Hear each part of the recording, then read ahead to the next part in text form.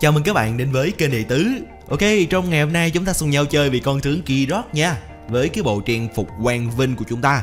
Khi mà mình nghĩ đến con Kirok Cái ấn tượng đầu tiên của mình chính là cái khả năng bá đạo của nó Trong cái việc được miễn khống chế hoàn toàn. Và chúng ta sẽ được tỏa sáng rất nhiều. Một pha cướp bồ thành công rồi. Cướp được con bồ lực sĩ Trước mặt những thành viên team bạn. Quá tuyệt vời đúng không ạ? Cái lợi thế đầu tiên của trận đấu đã được diễn ra với con tướng Kirok này khi mà mình sử dụng cái phép bổ trợ là trừng trị và trụ đường tại khu vực của con tà thần Seiza chém liên tục bằng cái mâu thần lực lên người của cô nàng Tara. Cô ta nhảy đi bằng cái búa cuồng, tiếp tục là cái quay tay đại pháp một lần nữa. Cô ta chưa có chiêu cuối thì không có một vấn đề gì. Chúng ta phải sợ cả. Chắc chắn trong kèo solo này chỉ cần bật chiêu hai lên và chém mà thôi. Tiếp tục có được con chim rồi. Quay tay liên tục và ôm trụ thành công. Rất hay một xíu nữa thôi. Chỉ cần cô ta thọt vào hơi sâu thôi Là chúng ta có thể đâm thủng được cô ta ở những giai đoạn như thế này đây. Cô ta không có cái chiêu cuối thân thể thép, Thì cô ta chỉ là một bao cát di động mà thôi. Lâu reo đang đến hỗ trợ, Đôi cánh thường khiết làm chậm chúng ta, Tích được ba đòn dấu ấn, Nổ sát thương một lần nữa, Nhưng không sao cả. Đệ tử vẫn có thể trụ được tại nơi đây. Với cái bộ chiêu thức ác mộng biển khơi, Tiếp tục bay về à. Không dí được rồi các bạn ạ. à. Chúng ta không có đủ sát thương Chúng ta không có mang cái phép bổ trợ bộc phá.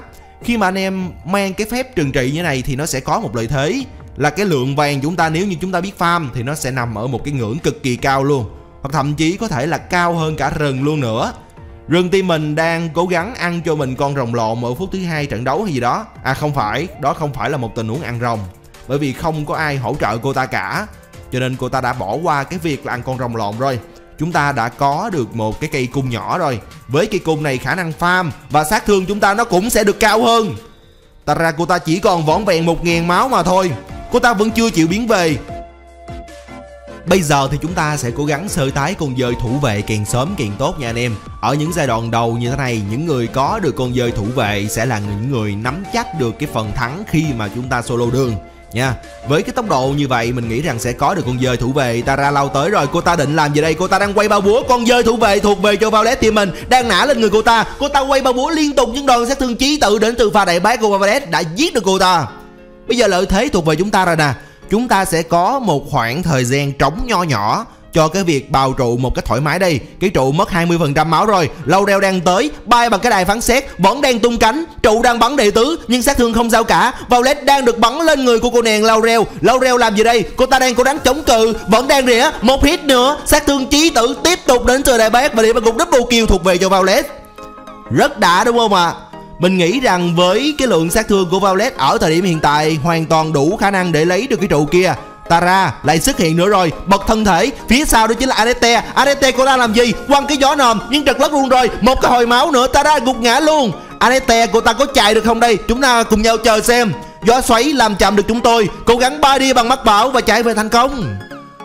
Chỉ mới phút thứ ba trận đấu thôi mà cô nàng Violet, cô ta đã giết được hai mạng rồi. Một lợi thế xanh sao thuộc về cô ta. Lâu reo đang tới, Cô ta đang muốn báo thù. Bay bằng cái đài phán xét, Tôi sẽ đứng phía sau và ngắm nhìn cái tình huống cô nàng Violet tử hình được lâu reo. Tử hình được không? Tử hình được rồi. Rất khủng khiếp đúng không ạ? Cô ta quá xanh xao rồi. Những phát đại bác của cô ta là cực kỳ thốn và nó khiến cho đối phương phải lùi bước.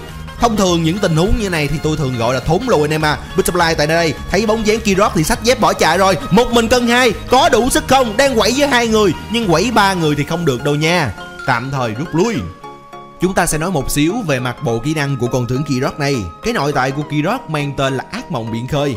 Nghĩa là những cái đòn đánh thường của anh em á, Nó sẽ tự động gia tăng thêm cái tốc đánh. Và cái đòn đánh thứ ba nó sẽ mang một cái phạm vi rộng hơn so với bình thường, Cộng với cái sát thương nó cao hơn nha anh em. Chiếu đầu tiên của Kirok mang tên là sóng tử vong, Thì nó sẽ lướt tới theo cái hướng chỉ định của chúng ta. Khi mà chúng ta lướt trúng đối phương Đối phương sẽ bị làm chậm và chúng ta sẽ được giảm 4 giây thời gian hồi chiêu của kỹ năng này nha. Đang solo kill cùng với cô nàng Tara. Tara, cô ta chưa bật chiêu cuối à. Cô ta vẫn đang quay tay, nhưng một câu khẳng định chắc nịch. Tara chưa đủ tuổi để solo với Kirok ở thời điểm hiện tại. Quá mạnh đi. Nên nhớ đây không phải là một con Kirok bình thường, Mà nó là một con Kirok đã được tắm với một loại dung dịch gì đó. Thì anh em cũng tự biết nha. Nói tiếp cuộc trò chuyện chúng ta nè. Cái chiêu thứ hai của con tướng Kirok này mang tên là gì ta?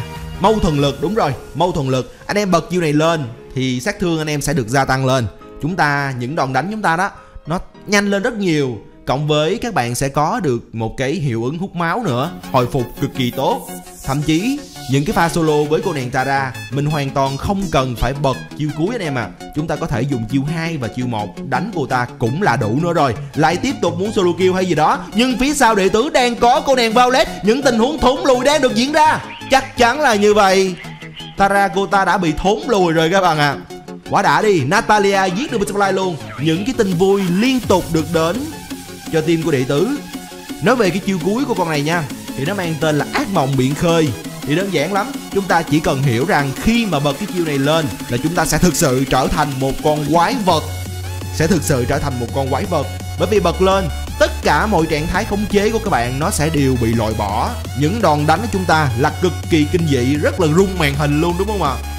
U có kèo đây. Venetian đang đơn độc tại đây. Toro sử dụng bò rỗng rồi. Toro muốn làm điều gì chăng? Anh ta muốn băng trụ hay gì đó? Chắc chắn là như vậy. Cái đại địa chấn Venetian tốc biến lên địa tướng bay đến và vét được một màn Bây giờ chúng ta sẽ vét luôn cả một cái trụ. Natalia, Cô ta đang rất tự tin. Một mình cô ta đang chiêu chọc hai thành viên team bạn tại nơi kia. Tại vì sao cô ta lại tự tin như vậy? Tôi nghĩ rằng cô ta tin tưởng rằng Đằng sau hậu thuẫn của cô ta là hai trẻ trâu và cô ta không sợ bất kỳ điều gì cả với cái sự vững vàng và chứng chắc đến từ hai trẻ trâu này. Chúng ta đã lấy được một hàng trụ ngoài của những thành viên team bạn. Chúng ta sẽ tiến hành quay trở về cái đường chúng ta. Tara cô ta tranh thủ lúc này cô ta đang cố gắng đẩy trụ. Cô ta vẫn chưa chịu bay về. Cô ta đã nhảy bay về rồi. Bật cái thân thể thép luôn. Vẫn đang bò, đang lết gì đó. Bị tê tái trừng trị vào đầu. Làm chậm được cô ta. Bật chiều cuối ác mộng biển khơi để truy đuổi. Nhưng khả năng hồi máu của cô ta là cực kỳ kinh dị Và không thể nào giết được cô ta. Chúng ta không thể nào truy đuổi được một Tara quá trâu như vậy. Một Tara đã có đi tập gym Và cơ bắp cuồn cuộn như vậy Thì chúng ta không thể nào chấm dứt được cô ta ở những giai đoạn này. Nếu như mà nói về khả năng solo, Bây giờ thì mình nghĩ rằng một chín, một mười anh em ạ. À. Rất khó, chúng ta cần phải có sự hỗ trợ đến từ xạ thủ Hoặc là pháp sư của team mình Thì mới cớ mai có thể giết được Tara. Cô ta cái khả năng quấy rối là cực kỳ ghê. Bây giờ thì có thể là một tình huống móc đích của những thành viên chúng tôi được diễn ra rồi. Tara lại tiếp tục có thân thể thép Cô ta đang nhây nhưng hổ mang tiện chuẩn rồi. Một phát nữa trừng trị tê tái. Chúng ta có được 4 địa ba gục. Quá đã đi. Bây giờ chúng ta sẽ nói về cái phần bản ngọc chuẩn của con tướng Kirok này. Thì ngọc của Kirok dễ lắm. Ngọc đỏ chúng ta chỉ cần lên công vật lý xuyên giáp Ngọc tím chúng ta lên tóc đánh, tóc dài. Và cuối cùng là ngọc lột Thì mình sẽ lên là công vật lý với lại là xuyên giáp nha anh em những cái tình huống giao tranh đang được set up diễn ra tại khu vực đường giữa thì đệ tứ vẫn đang miệt mài với công tác farm với rừng này đây. Để vì cho nó đủ cái ờ, cái cái nội tại của cái món đồ đi rừng đó, bây giờ chúng ta đã đủ rồi. Cái khả năng tốc đánh của chúng ta nó gần như là gần mát luôn rồi các bạn ạ. À. và với cái bản ngọc này, mình tin chắc rằng các bạn sẽ phần nào khắc chế được cái nhược điểm của con trưởng Kirok, tức là cái khả năng truy đuổi và cấu rỉa đối phương. Bây giờ thì chúng ta sẽ tiến hành ăn con rồng lộn nha anh em. Con rồng lộn ở phút thứ 9 của trận đấu nó cũng không mang lại quá nhiều cái lợi ích cho chúng ta đâu các bạn ơi. Natalia, cô ta đang bị dí, còn vỏn vẹn 100 máu mà thôi. Cô ta chết rồi và bây giờ chúng ta có được con rồng lộn. Anette tại đây trừng trị tê tái vào đầu, Làm chậm được cô ta. Spotlight nhảy sổ vào bằng cái ám sát, Vẫn đang truy đuổi, giết ra TNT team bàn Bên này sẽ đang tới, Tháo chạy đông lùi thôi. Đồng đội đệ tứ cũng đang đến hậu thuẫn đây, Thốn lùi cực kỳ ghê đến từ những cái phát bắn chí mạng của cô nàng Violet và khiến cho team bạn phải khiếp sợ. Ba người mất đi rồi các bạn à mình nghĩ rằng cái trụ đầu tiên, cái trụ cuối cùng tại khu vực rừng giữa đó chúng ta sẽ sớm có được mà thôi. Tại vì những cái mũi tên cực kỳ thốn đến từ cô nàng TNH u mà cô ấy không có ờ, ăn trụ các bạn ạ. À. cô ấy quyết định là không có lấy một đường lĩnh siêu cấp, mà cô ấy đi qua cái khu vực của con tạ thần Caesar để mà hậu thuẫn rồi. Chúng ta đã có được một đường lính siêu cấp rồi. Bây giờ thì Tenat đang bị dí đây này. Phía sau là cô nàng Tara. Đệ tứ cô nàng tới Và mình muốn solo kill với cô nàng Tara này đây. Xem ai trâu bò hơn. Đánh rồi, Quẩy bằng cái bầu thần lực, Chém liên tục. Cô ta bật cho mình thân thể thép chưa? Thân thể thép được kích hoạt đang trong trụ. Cô ta vẫn đang ôm trụ Và ôm trụ thành công rồi. Cô ta hết thân thể thép rồi. Cô ta bật cho mình cái hồi máu. Đệ tứ đang quẩy bằng cái chiều cuối Băng trụ luôn rồi. Giết được cô ta. Cô ta mắc phải một chứng bệnh đó là A tờ sờ mờ, Tức là ảo tưởng sức mạnh. Cô ta nghĩ rằng cô ta có thân thể thép là muốn làm gì thì làm. Trận đấu nó đang diễn ra rất là dễ dàng các bạn ạ. À. Từ đầu trận tới giờ các bạn có thể thấy được rằng cái mức độ áp đảo của cái con tướng Kirok này, Một đường lính siêu cấp đã thuộc về chúng ta. Đợt lính nó đang tràn vào, Butterfly đang trấn thủ, Cô ta quay kiếm một lần nữa, Cô ta dọn dẹp xong đợt lính rồi.